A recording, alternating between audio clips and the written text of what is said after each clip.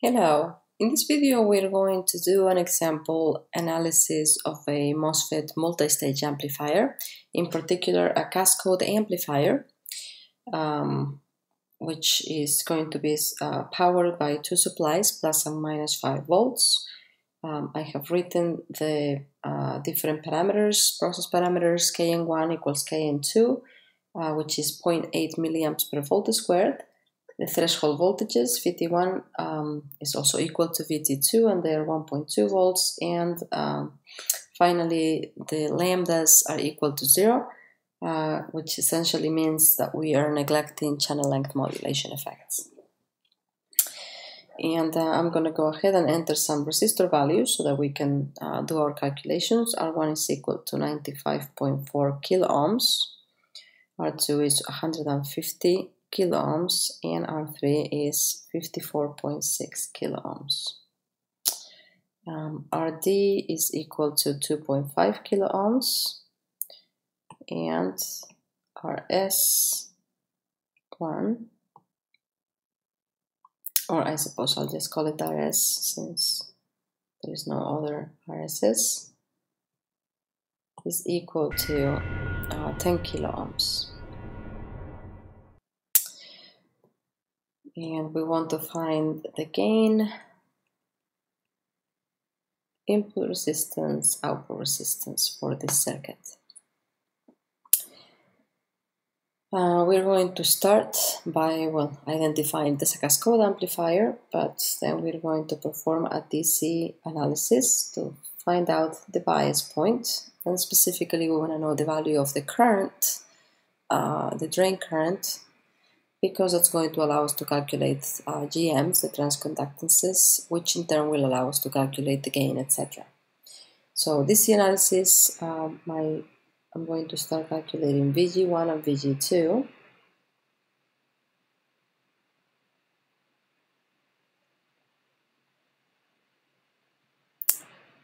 Which are basically the result of voltage division between V plus and ground. Notice that RC, R3 is not connected to the negative supply, but rather to ground. So I can calculate, uh, so I'm going to find VG1 and VG2 through voltage division.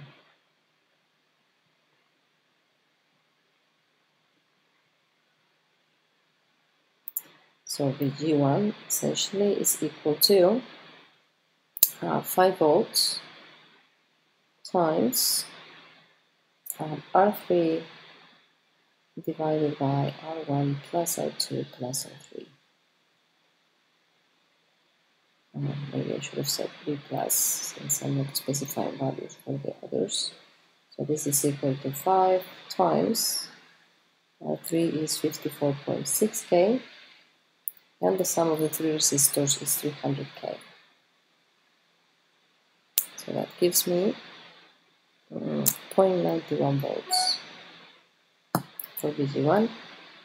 And likewise VG2 is going to be V plus times R2 plus R3 divided by R1 plus R2 plus R3 which is equal to uh, 5 times uh, 54.6 plus 150, which is 204.6k, divided by 300k, or 3.41 volts. So that's for my VGs. Next, I'm going to find ID1, which is equal to ID2, so I'm going to start referring to it simply as ID. In order to do that, I need to um, figure out the value of VGS uh, because ID depends is related to VGS. Uh, I have the value for both VGs. It's easy for me to see that the value of VS1, uh, the source voltage for transistor M1, this is VS1, is equal to uh, V minus plus rs times id or minus 5 plus 10k times id. And with that, I can write an expression um, for my VGS1, which is VG1 minus VS1, or 0.91 minus negative 5, so minus minus makes a plus, minus 10k times ID. In essence, um, uh, 5.91 minus 10k ID. And the expression for my current ID, if I assume that uh, transistors are um, in saturation, will be 1 half of kn1, which is equal to kn2, so I'm just going to refer to it as kn, uh, times VGS1 minus VT squared. Uh, VT is also the same for both transistors, so I'm referring to it as VT. So this makes ID equals to 1 half of 0.8 milli times VGS1 is 5.91 minus 10,000 times ID minus 1.2 volts squared. I can solve for ID, this equation, and I get ID equals to approximately equals to 0.4 milliamps. Um, and with that, I could uh, find the value of the output voltage, I suppose which is taken at the drain of M2. Uh, so find the out. The out is going to be equal, and this is DC, so I'm just going to make it capital. Equal to V plus minus RD times ID. Or 5 minus 2.5K times 0.4 milli of 4 volts. Um, Alright, and we are ready to calculate gain input resistance, output resistance. To make things easier to visualize, I'm going to copy this and paste it over on the next page.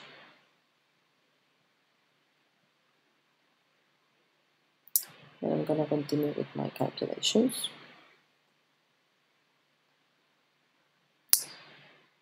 Uh, so to find my gain, first I need to calculate uh, my transconductances, GM1. Since I have the same current and the same value of Kn, I have that GM1 is equal to GM2, which is basically 2 times the square root of Kn times ID, or 2 times the square root, uh, Kn is 0.8 milli, ID was 0.4 milli as we just calculated. So this gives me 1.13 millisiemens or milliamps per volt. Uh, the value for my gain is V out over V in. Um, and we could uh, do this just by calculating the gain of the two stages if we wanted. We have a, uh, a common source followed by a common gate. Um, and so we could say AV is equal to um, AV1 times AV2. And AV1 is going to be equal to overall resistance connected um, to the drain of M1 divided by overall resistance connected to the source. Uh, we don't really have a resistance connected to the source in this case because uh, it's fully bypassed. And so it's just going to be, um, you know, 1 over GM. And so basically our gain AV1 will be minus GM1 times the resistance connected to the drain. So I'm going to say this is minus GM1 times um, resistance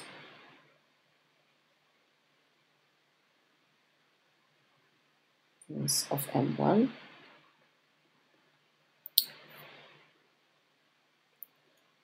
and AV2 um, is going to be uh, overall resistance connected to the drain of M2 divided by the overall resistance connected to the source of M2. But notice that since uh, the source of M2 is connected to the drain of M1, the overall resistance connected to the source of M2 is going to be equal to the overall resistance connected to the drain of M1. And so uh, when I divide here, like overall, basically, overall resistance connected to the drain is RD divided by um, source resistance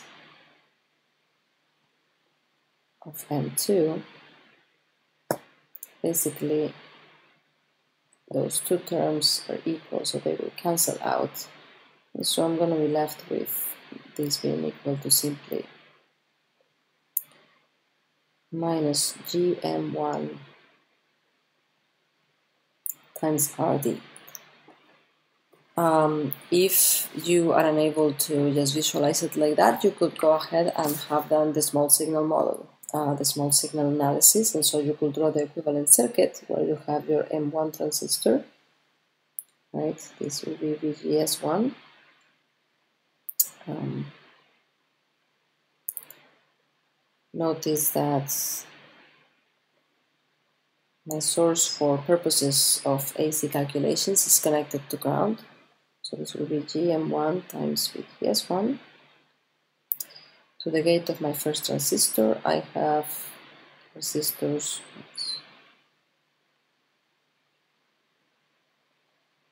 R3 in parallel with um, R2.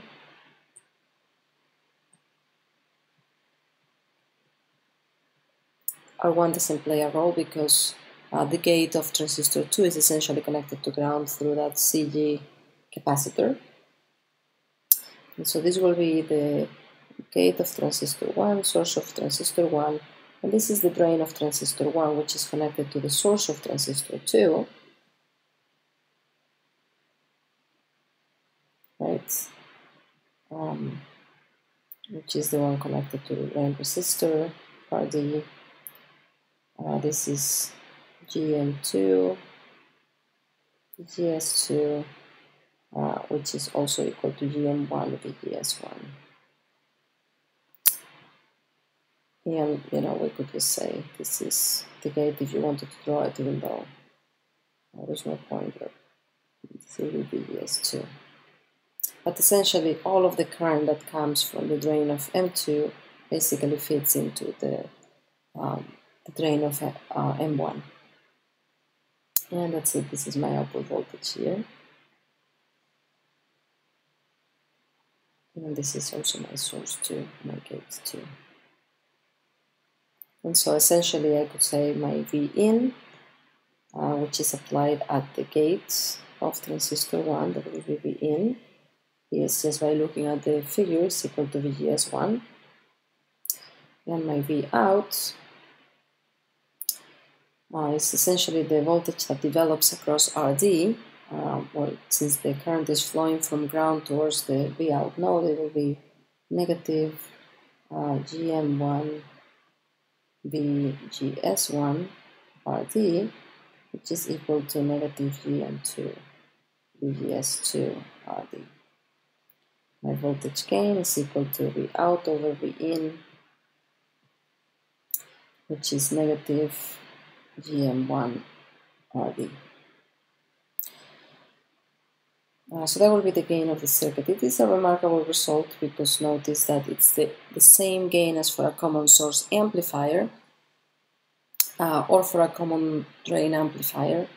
Um, essentially is the gain uh, of a common source followed by a common drain if the gain of the common source was 1. My input resistance uh, is going to be R2 in parallel with R3 since R2 is connected to ground. Therefore, R1 doesn't play a role into the calculation of the input resistance. And uh, that's going to be around 40k. and my output resistance is approximately equal to RD which is 2.5K.